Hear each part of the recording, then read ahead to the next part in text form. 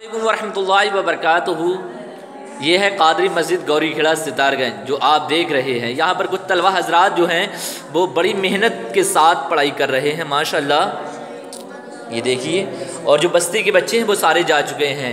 और हज़रत हाफिज़ कारी हाफिज़ साजिद रज़ा साहब जो है वो भी तशरीफ़ फरमा हैं और आपको मैं मस्जिद की महराबें दिखा रहा हूँ। बड़ी शानदार यहाँ की मस्जिद की महराबें हैं, माशाल्लाह आप देख रहे हैं।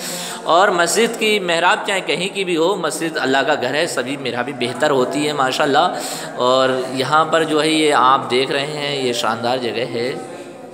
आह, माशाल्लाह, ये देखिए वो टाइम टेबल बोलते हैं इसको टाइम टेबल है।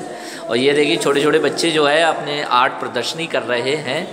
यानी देखिए, बहुत माशाल्लाह बेहद बेहतरीन सा जो है दरूज शरीफ लिख रहे हैं। ये देखिए, सल्लु अल हबीब सल्लल्लाहु ताला मोहम्मद सल्लल्लाहु अलैहि वसल्लम। ये है मोहम्मद सुबहान रज़ा, जो बहुत अच्छी कम उम्र के हैं, आप देख सकते हैं, बहुत छोटे से उम्र की हैं।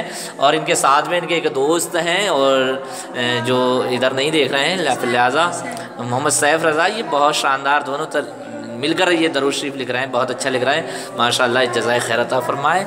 बहुत अच्छा शरीफ बना लिख रहे हैं। और आपको मैं जो है, गौरी खेड़ा की कादरी मस्जिद का जो है दीदार करा रहा हूँ। माशाल्लाह, इसी तरीके से मैं, और मैंने गौरी खेड़ा की दरगाह, दादा मियाँ हजूर की जो दरगाह है, उसका भी दीदार कराया था आप रात को। माशाल्लाह, और हमारी इस चैनल पर आपको नई नई वीडियोस आपको देखने को मिलती हैं। हम अलग अलग जगहों पर, दरगाहों की जो है आपको ज़ियारत कराते रहते हैं इन किसी दिन पीलीभीत के हुजूर हाजी शाजी मोहम्मद शहीद मियाँ रहमत ताली के भी मज़ार पाक की ज़ियारत कराएँगे और किसी दिन अब्दुल कदीर मियाँ पीलीभीती की भी जो है ज़ियारत करवाएँगे उनकी दरगाह की।